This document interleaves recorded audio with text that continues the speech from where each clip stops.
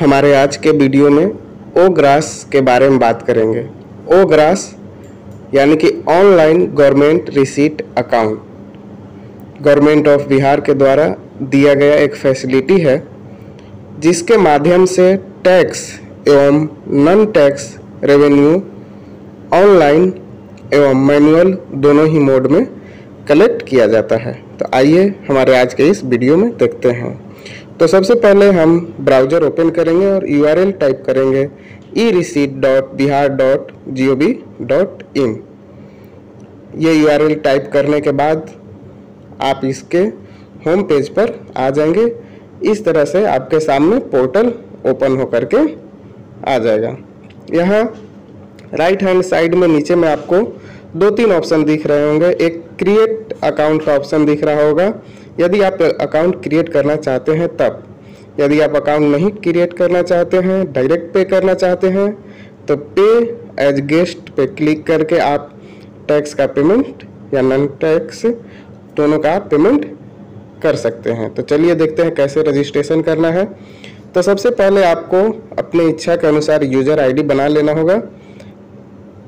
User ID बनाने के बाद नेम में ऑर्गेनाइजेशन का नाम इंटर करना है।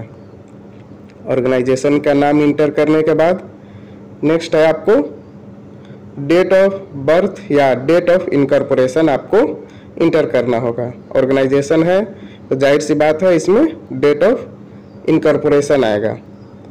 तो डेट ऑफ़ इनकॉर्पोरेशन हम डालेंगे।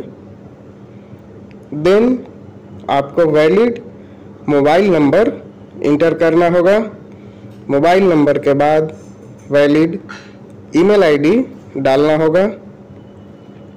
नेक्स्ट है एड्रेस का ऑर्गेनाइजेशन का एड्रेस आपको डालना होगा, जिस ऑर्गेनाइजेशन के लिए आप रजिस्ट्रेशन कर रहे हैं। तो एड्रेस को हम इंटर करेंगे।